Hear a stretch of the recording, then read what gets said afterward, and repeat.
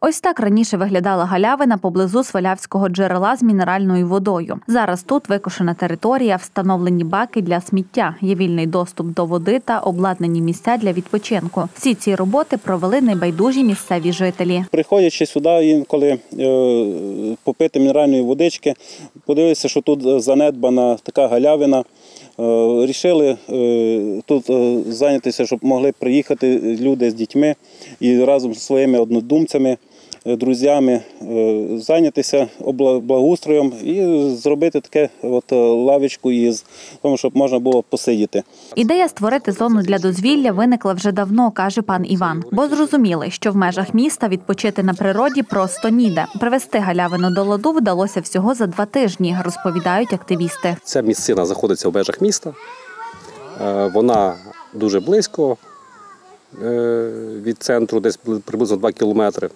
Тут е, можна прийти пішки на велосипеді, відпочити, напитися холодної водички, пограти в волейбол. Декілька років займаємося таким активним відпочинком.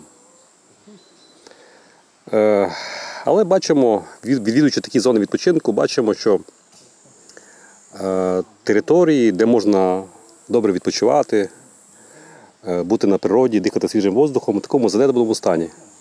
Ну, відповідно, вирішили, вирішили зробити тут благоустрій, навести порядок. Разом з друзями-додумцями поставили тут кадуби такі на джерело і потроху почали це, цю місцину е, підтримувати тут порядок. Цими власними коштами, е, без ніяких таких якихось додаткових ресурсів. Локацію обрали туристично привабливу, адже через цю ділянку проходять шляхи до природних родзинок Свалявщини, мінеральних вод. покосили бур'яни, убрали е, лишній мусор, який е, тут е, залишають, на жаль, люди, які приходять, приходять на відпочинок, а за собою нічого не забирають обратно.